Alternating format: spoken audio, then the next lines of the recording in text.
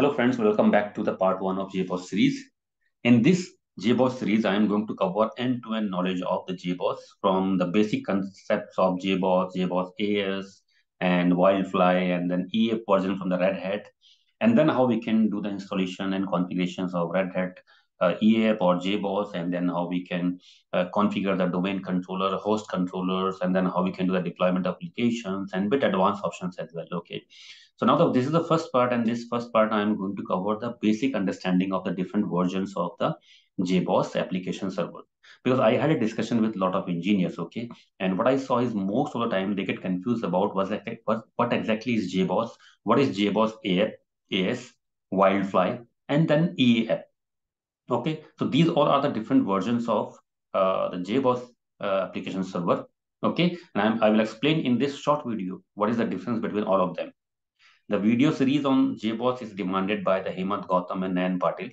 Okay, however, the demand from the Hemant Gautam was on bit advanced options of JBoss, but stay tuned and then in some time, okay, I will come up with the advanced uh, series of JBoss as well. Okay, so because I'm starting from the beginning, so it will just an introduction and but i would recommend to all of you to go through this as well okay because you will get a lot of information for which you may not aware about that one with respect to JBoss. Okay. So let us begin with the part one, which is the introduction.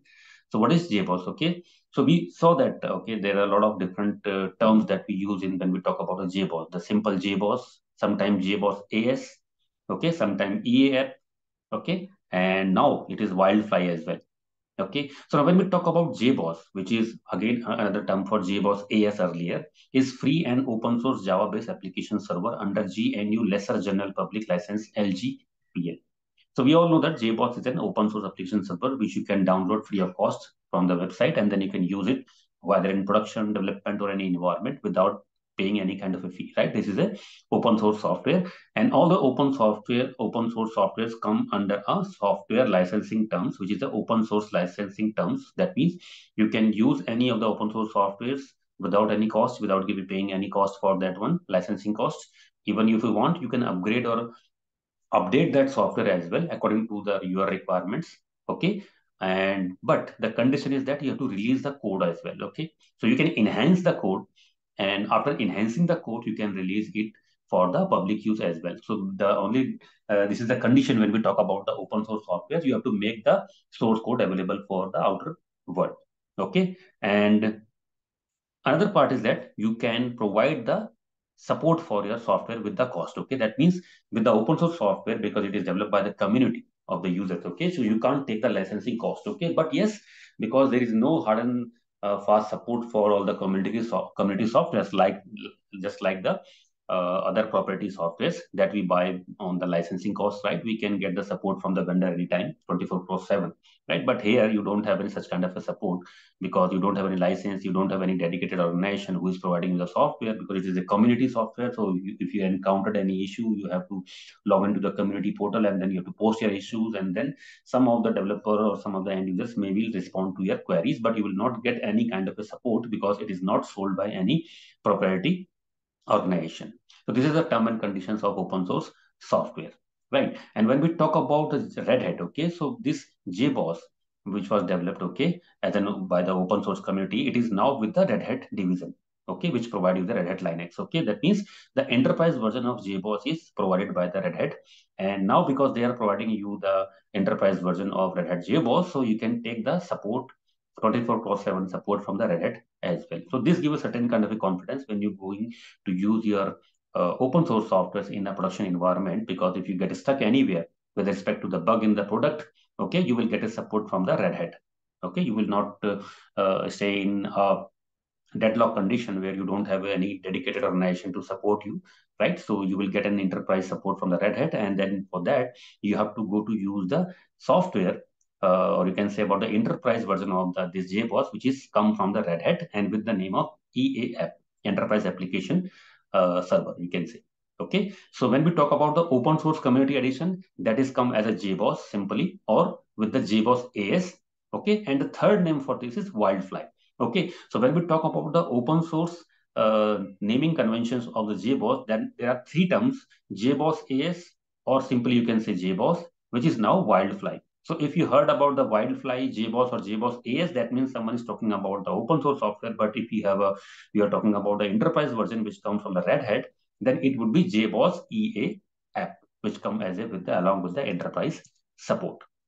Okay, and that's the reason you may find different version of open source JBoss Community Editions, which is free to download, and Red Hat EAP, which is controlled by Red Hat and under their own licensing term and agreement. Okay, so this is the reason you will heard that there are a lot of terms with respect to JBoss, like simple JBoss, JBoss AS, Wildfly, and then JBoss EAP. So simple JBoss, JBoss AS, and Wildfly is the open source community version of your JBoss.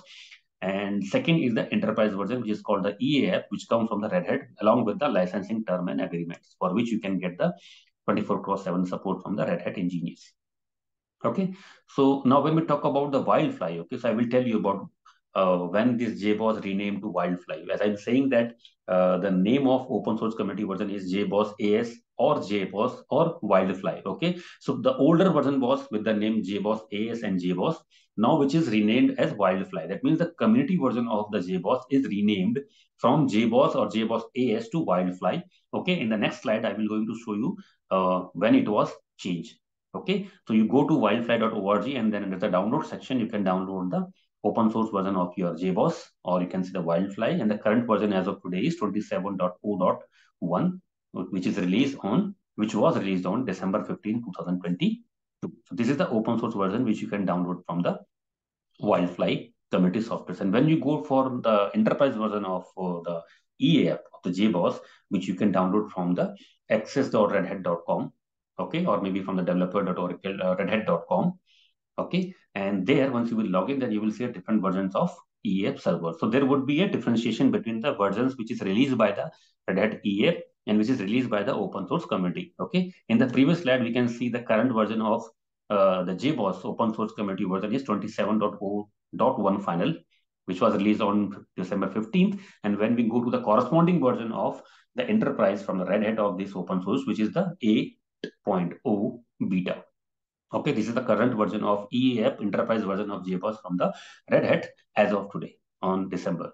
Okay, or, or the first week of January okay the current so and, and, and the older versions are 7.4 7.3 7.2 okay and that is the reason you will see a differentiate between the versions on the jboss open, open community version and from the uh, red hat enterprise application server as well because it is controlled by the red hat so they, they release it with their own release number and the community versions are released by the community members okay so as I said, the JBoss AS or JBoss, which is now Wildfly, so free open source JBoss or also known as JBoss AS is now renamed as Wildfly since around 2014. That means since November 2014, the open source community version is renamed as Wildfly.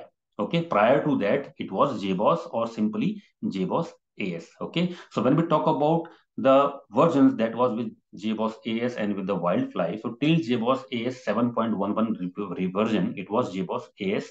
Okay. And from version 8 onward, it is renamed to Wildfly. Okay. So till the open source community version 7.111, it was defined as JBoss AS. But after that, when the version 8 was released after November 2014, it is renamed as Wildfly okay? And only open source community version renamed as wildfly not red hat enterprise version okay? So that was the only the open source version right? That was renamed from jboss as to wildfly and the red hat jboss version is the same with the name red hat ea app okay?